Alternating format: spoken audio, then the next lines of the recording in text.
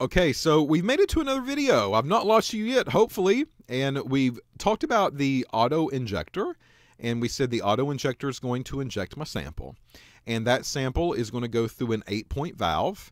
And that eight point valve is going to rotate and it's going to suck up sample. And then it will suck up some acid. And it will suck up some water if needed. And then it will mix everything and put it into the syringe. And that's what we talked about in the last video. So here I'm in my syringe area and it's bubbled and all of my purgables have left and I've bubbled it for a certain amount of time and then that syringe is going to inject it onto the next step of the instrument.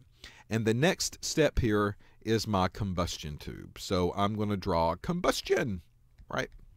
So we've talked about combustion already. We've mentioned the reaction, and we said I've got some kind of organic compound, and I'm going to react O2 with it, and I'm going to get CO2, and I'm going to get water every single time. It doesn't matter what type of organic. That's the way this thing works. I keep saying it over and over and over and over and over. All right.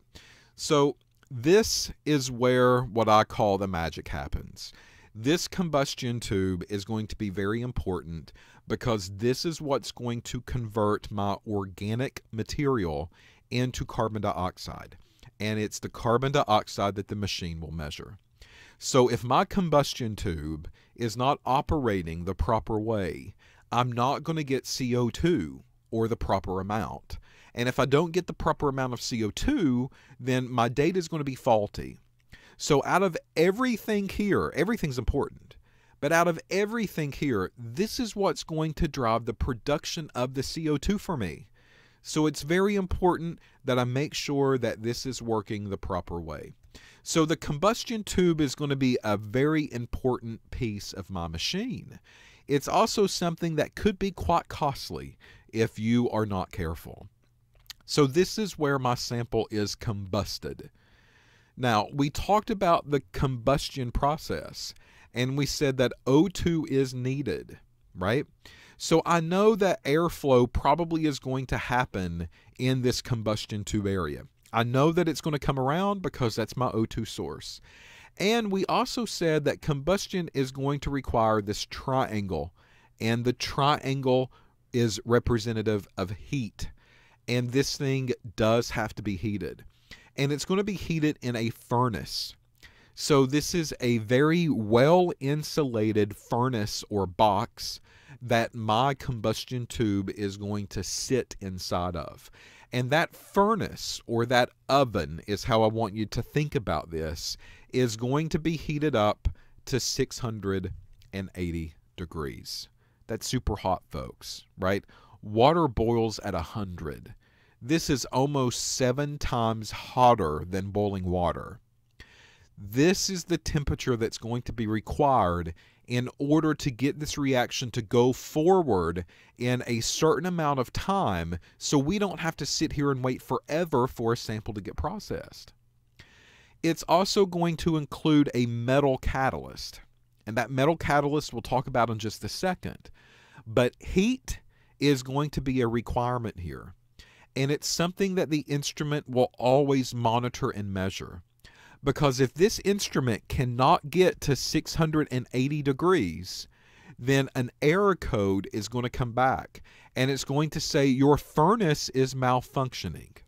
There's a problem. Just like the oven at your house. If you set it at 375 and it never can get to 375, then there's something wrong with the heating element, right? Or you set it at 375 and let's say that it just keeps on a heating and it just keeps heating up and up and up and up and up and it never cuts itself off. The regulation's gone bad. The same thing can happen with a TOC furnace right? Same kind of problems. If that begins to happen your software and your instrument will tell you that. So number one thing is the heat. That has to stabilize. It has to get to 680 and it has to stay constant, right? Number two, air intake has to happen. If air intake does not happen in this area, then nothing is going to get combusted because O2 is going to be a requirement for this reaction. So that's also going to be another problem area. if your air runs out, that's kind of what drives this forward.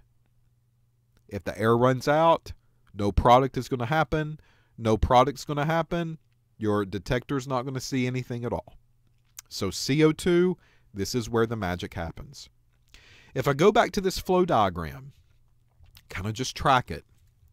So I see my sample getting sucked up into the eight point valve, some acid or some water added in if needed. It goes into the syringe. That syringe is going to get bubble, bubble, bubble, bubble, bubble. And then it goes back up into the eight point valve. The eight point valve is going to turn and it's going to open up a spot that will lead into the combustion tube right? We talked about that valve. We talked about that Teflon basically turning and opening up certain doors. The door it's going to open up now is the door that leads to the combustion tube. Well, this is just so happens to be spot number six. All right. Is that necessarily important? Not really. But if I look on my valve, I'm going to see numbers 1, 2, 3, 4, 5, 6, 7, 8. And on my Shimadzu system, number six is going to lead to the combustion tube. They are clearly labeled and identified so you know what tubing line goes where.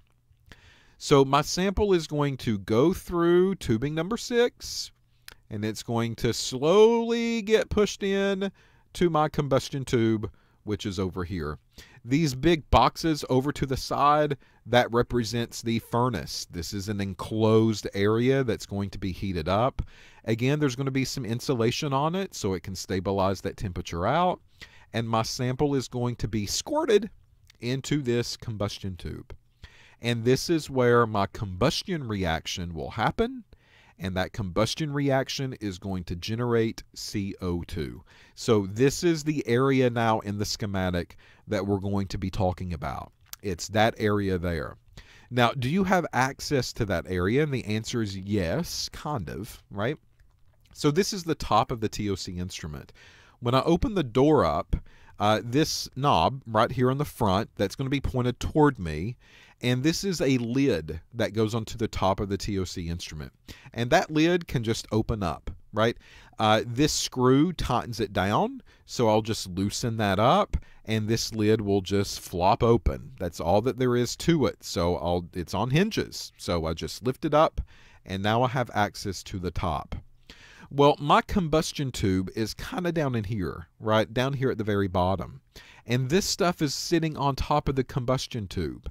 And I need access to that combustion tube. So I'm going to have to take some of these pieces and parts off so that way I have access to the actual tube itself. Okay, so one of the things that has to happen are these screws. These screws are going to have to be loosened up a little bit. So that screw will loosen up and it will allow you to slide this top Teflon piece off. That Teflon piece slides back and forth and it allows your sample to go into the combustion tube. That's its purpose and that's what it does. You can see the line that follows it here. That line is coming from your eight point valve. So the eight point valve opens up, it allows your sample to be squirted through the tubing, and it comes into the injector or the combustion tube right here from the side. So this piece will slide back and forth and it closes that off and it opens that up to your sample. So uh, just another different type of mechanism to give you access to where it needs to go. So that piece is just slid off. That's all there is to it. One screw, pretty much, that's it. Uh, and you can just kind of rest that over to the side and you're getting closer to the combustion tube now. Uh, the next thing that you would probably want to do is go down to the bottom of the instrument. Again, this is the front facing and this is the door open. And down here at the bottom, you're going to see, again, some more kind of Teflon looking pieces and those pieces are going to be attached to the bottom of the combustion tube. And the bottom of the combustion tube is right there. Normally it would sit all the way down in here, all right? So this image is actually you loosening it up already and you're beginning to pull out the combustion tube from the top. So normally that sits into that seat and it just kind of clamps down in place, but you would want to loosen that up a little bit so that way you don't snap and crack the bottom of that combustion tube. It's very important, right? No cracks uh, can be in that glass or you're going to lose stuff. So this combustion tube uh, here, they've showed um, pulling off this line to the side and this just basically lifts up. All right, that's all that there is to it. The whole thing will lift up in uh, total, and then you can see the combustion tube come out of, of the furnace. Inside of the combustion tube, you see this kind of gray stuff. All right, so this gray stuff is the catalyst. Remember, I said there's a metal that's involved and it has to be heated. So this is the metal catalyst that's on the inside of these. Uh, we call it the catalyst beads if you call up Shimadzu and you say, hey, I need some new catalyst or I need some new catalyst beads, they know exactly what you're talking about and they'll ship you the proper ones for your instrument. They can come in different forms and in different varieties, but this is what the standard catalyst bead looks like. They're just little round gray BBs, basically, that go on the inside of this tube. Uh, this catalyst is an alumina, A L U M I N A. It's an alumina bead. And that alumina bead is going to be pretty important because this bead is going to be coated in platinum. Probably one of the most expensive things off the periodic table. Okay, that is going to be a problem. These are platinum catalyst beads here. Now, those beads are not pure platinum. If so, then this would be probably so expensive that nobody could afford it but this is an alumina bead and the alumina bead is going to have a coated surface and that coated surface is platinum. That is the metal catalyst that's going to be required for this process to work. All right? So there's a lot of things that go he on here with the combustion tube. So first, let me clear this out you could have to replace the combustion tube. Maybe over time this has gotten damaged. Maybe you've had it for a handful of years and you just feel better about putting a new one in. Maybe over a course of time, the inside of it has just gotten so crudded up and contaminated that you're having some crossover and you want it a little bit cleaner. So you either going to have to replace it or you're going to have to clean it and then put the old one back in. Well, this is one of the reasons that you would need access to here. All right. The second thing that can go on are the beads. Over time, those things will start to decompose, and you might have to replace those beads as well. So you'll have to call Shimadzu up and you'll have to say, I need some more catalyst beads. They'll ship you some new ones, and you will dump the old ones out and you'll put the new ones in. Couple of different reasons you need access to this combustion tube, all right? And that's why we're talking about it and that's why we're covering it. As far as the alumina goes, alumina is Al2O3. You're going to hear a lot about alumina and silica a little bit later on in our instrumentation courses. So I'm not going to dabble into it too much here, but I just want you to understand that that is the majority of the bead. All right, that BB ball or sphere is mainly Al2O3. And then on the surface only of that bead, we have a coating. And that coating is going to be platinum. So Al2O3 is the foundation of the house and the platinum is everything that's kind of built on top of that. So that's what you're seeing here in this picture. It is the alumina spheres with the platinum surface. So the combustion tube could need replacing and the beads could also need replacing. Uh, if you have to replace the tube, you take the old one out, you dump everything out of it. You throw the tube away. And then you have ordered probably a new tube and that new tube just basically gets inserted where the old one came out of, and you put the top piece back on, and you screw it all back together. Very simple, very easy process again. You just slide the old one out, slide the new one in, and then you put it back the way that you took it apart. One screw at the top, one screw at the side, one screw at the bottom. That's it. If you have to replace the tube, you're looking at around 225 bucks. So, not cheap, but it's not the most expensive piece that we've seen so far. That was the syringe. Over time, things that I want to say about the tube. It will get cloudy, and that's okay. It's not going to stay clear. It's not going to stay pristine and pretty. Over time, as you use it, that combustion tube will get a white, crusty residue on the inside. That is normal.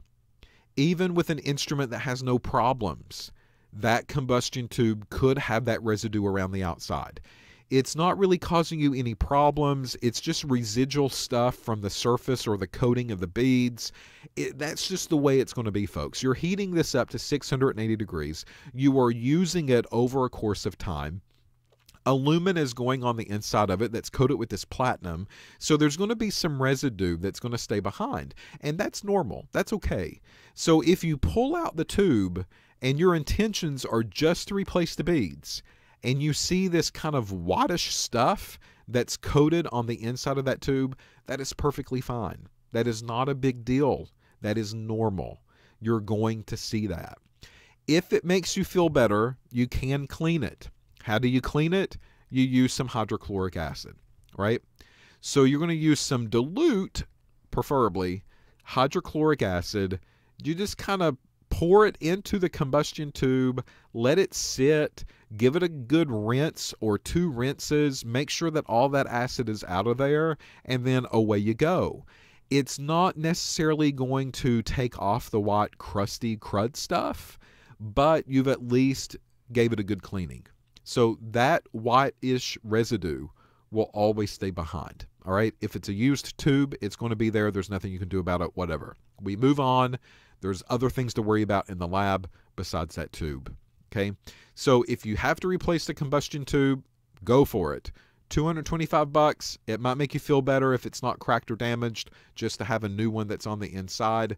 But keep in mind, these things can be cloudy. It's not a sign of an issue or nothing. Another thing that can go on here when you change out the tube are the O-rings. You know, the O-rings really give it a good seal. And if these O-rings go bad, they could dry rot or they could get crusty or flaky. It's going to allow leaks to happen. And you don't want that. Everything has to be kind of tight and everything has to be kind of self contained. You cannot have um, leaks out of the system. You cannot have areas where maybe residual air from the environment's coming inside. Everything has to be a super tight fit. So this O-ring, one of them, is up here at the very top. So this washer comes off and it gives you access to that O-ring. You can take a pair of tweezers and just pop that sucker out and put a new O-ring on uh, in place of it. Uh, those O-rings are not expensive they tell you to do them every so often, whether it needs it or not, just to ensure that everything is keeping a tight fit. Uh, to you, it might look pretty good, but to the machine, it might be a little old and it might be leaking and you just don't know about it. The reason that they tell you to do it is because those O rings are not expensive at all. We're looking at $18 for a pack of five. that's it. So O rings, very reasonable. So if you're going to go through the trouble of taking the slaughter piece off and getting access up underneath here, you might as well go through the step of just popping that off out of there and putting a new O ring on instead. It keeps your system clean. It keeps the system happy, right? That's not the only O ring, though. The other O-ring is on the bottom of that attachment. So this is the bottom, okay? My tube would actually set up in here. So this is turned upside down on you, right? This is the stem that they loosened over to the right-hand side. And this is a piece of tubing that went off that we told you to unscrew. Well, this is the bottom. So my combustion tube will slide up in there, the top of it, and it will stay in there and it doesn't screw in there. It's a piece of glass. So this rubber O-ring actually holds that in place. And over time, again, that O ring could lose its elasticity, it could begin to dry rot, and it might not hold your combustion tube up in there and seat it the proper way. So you would need to pop that out and you would need to replace that O-ring as well. Again, you just take a pair of tweezers, that tweezer and that O-ring will pop right out of there for you and you just put the new O-ring in and seat it back in place where it needs to go. Then the top of that tube will basically sit down uh, or go up into that seat and then you just screw everything back together again. So once more, I got a video of just kind of some still images for you, uh, so that way you can kind of see these things in motion about the combustion tube and about these O-rings as well. All right, so here's the top of the machine, and we're just going to loosen that screw and open up the lid. There you have access to the top slider piece. We're unscrewing those pieces so we can flip this off, or maybe slide it out is a better term. We don't want to flip things off, right? If it gives you problems, you probably do want to flip it off. And then down here at the very bottom, we're loosening that as well. And this entire combustion tube is going to get pulled up and out of the machine. And there you go. You can see the catalyst beads and everything else. A new system will probably come into play. There we go and then it seats back down into the furnace. You'll want to retighten this bottom piece as well. Make sure that's secure. And then at the top, you reattach the plastic tubing. You see it threaded on. And we put the slider back on. And we put the screw that holds the slider in place. So that is the way that you change out the combustion tube on the inside of the TOC. Again, a couple of screws. That's it. One at the top, one at the side, one at the bottom. And the whole entire assembly comes out, and then it comes back together as a whole. Uh, something else that I want to maybe uh, tell you about. You probably saw it in one of the pictures. See this big image of a triangle right here? There's a thicker piece of tubing that leads from the top. This thicker piece of tubing that has this tag on it that says caution and it comes out the front and over to the side. That is a drain tube. So this will eventually go into a drainage tube. So any extra that should not be injected into the machine, that will leave the drain tube through that route. Uh, and that will drain out of the machine before you begin to use it again. So in this video, you're going to see the replacement of the O-rings. And again, the screw gets uh, threaded out, the top opens up. You're going to take the slider piece back off with that one screw. It just slides out of there. That's all it does. And you have access to now this rubber O-ring at the top. So take a pair of tweezers, dig it down in there, get the O-ring out, put the new O-ring inside. That creates a better seal for you, brand new, nice and tight. And then everything just gets slid back on once more. All right, that's all that you have to do if you have access to the top part of the TOC instrument. And there you go. Nice and tidy. So now that we've talked about the combustion tube, what I want to do in the next video is talk about the catalyst into more detail. So the beads that are on the inside of the combustion tube, I want to uh, expand on that a little bit more, talk about maybe why we have to replace those and when we know we have to replace them and uh, how much they cost uh, and those types of things. So in the next video, we're going to focus on those beads on the inside of the combustion tube, and we'll still be talking about that general area of the schematic. So again, we're talking about the furnace area here, and we talked about the tube now. That can be dirty over time. It's quite normal. But now we're going to focus on the beads that go inside of that tube. So we're still going to be focused in that general area of the schematic when we come back.